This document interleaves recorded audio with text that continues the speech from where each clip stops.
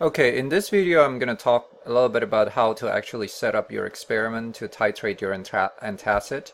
So these are all the ingredients you're going to need here. Okay, so you're going to have one of these antacids. Okay, um, it's going to be uh, in the lab somewhere and both of them are going to be there. You're going to start with one then the other one uh, you're going to have your HCl. The concentration would be written on the bottle. It might not be this concentration that you see here, but it will be written there and you're going to need that number. So make sure to write it down. And then the NaOH will also be there in this type of bottle and make sure to write that concentration down as well. You're going to have your indicator, which you need to uh, know where the endpoint of the titration is. And you're going to have a mortar and pestle combination which you're going to need to crush the antacid tablet so that it becomes a fine powder before you start doing the experiment. Here's a quick uh, showing of how fine the powder of the antacid should be. So when you get the tablet, you have to crush it with this mortar and pestle. It might have already been done for you by another student, in which case you just need to get that powder. But if it hasn't, then you're going to have to crush it to this fine powder. And you're going to need to weigh about 0.3 to 0.35 grams of that powder and transfer it into your Erlenmeyer flask. Okay?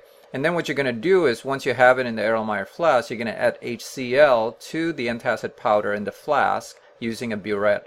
Now very important, when you're using a burette, remember that at the beginning the burette has to be completely flushed out of any air bubbles. A lot of times you might have air bubbles in the tip of the burette and to flush it out, you just need to open the burette once you fill it up with HCl and make sure that that air bubble goes out before you start uh, taking out some HCl to add into the antacid. Once you add the HCl to the antacid, uh, what you want to do is heat that mixture until it boils. There's a couple of reasons to do this. One is you want to make sure that your antacid actually dissolves, completely dissolves, and boiling helps with that. And secondly, remember that I talked about in the previous video that the uh, antacid might contain carbonate. The carbonate might react with the acid to produce carbonic acid, which actually breaks down to CO2. And we want that CO2 to be completely evaporated off or boiled off. Uh, and that's the reason for heating as well. Okay.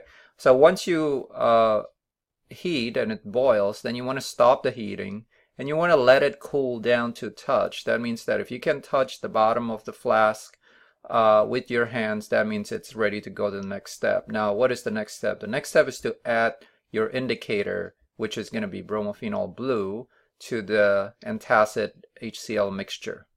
Now here's a list of indicators. Bromophenol blue is circled right here. As you can see, for any indicator, they basically have different colors for when things are considered acidic and things are considered basic by the indicator. So if you look here with bromophenol blue, there's basically two colors that are distinct. There's the uh, violet or purplish color for basic environment, and then there are the yellowish color for the acidic environment. And when you're right at the equivalence point, when things are changing at the end point, the colors is the mixture of the yellow and the purple, which is slightly greenish, okay? So when you start adding uh, the bromophenol blue at the beginning to the solution where it contains excess acid, you expect to see a yellow color. And then later on, when you titrate uh, to the equivalence point, uh, the endpoint of that color should be either green or purple. We talk about the titration and how to identify endpoint uh, specifically. Here, we're not using bromophenol blue, but another indicator called phenolphthalein. But the idea is the same. So in this case, phenolphthalein has uh, colorless appearance when it's in the acidic environment and when in the basic environment it has a dark pink appearance. So the in-between color of these two, when you mix colorless and dark pink, you're going to get light pink. So that's the color that you want to shoot for for the equivalence point. Now for the bromophenol blue, remember that we had yellow for acidic, purple for basic. So then we're going to try to shoot for that greenish color, which is going to be the color of the equivalence point. So you can see that sometimes it just takes one drop before you get to that uh, light pink in this case or the greenish color that you're going to shoot for for your own titration. Now one thing that is very important while you're titrating is you want to make sure that as you're titrating that this flask is being swirled okay so you're continuously mixing the solution that are in here. You don't want to just add the acid and let it just stay at the top of the solution while the bottom of the solution is not mixing with the acid. So you want to shake this and swirl it swirl the flask continuously as the acid is being added. That's the way to make sure that the reaction is happening. Remember what I said earlier, you want to titrate with your NaOH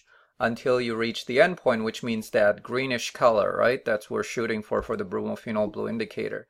Now, because the concentration of the HCl and the NaOH that we use in this case are fairly similar, one other way in order to confirm that you are at the endpoint is to add one more drop of HCl once you think that you reach the endpoint, okay? Because when you reach the endpoint, you should get that greenish or maybe it's a light purple color. And then if you add that one drop of HCl, if you're really at the endpoint, that should switch you back to the acidic environment, which means you're going to see yellow again. Uh, so that would be one way to tell that you're at the endpoint.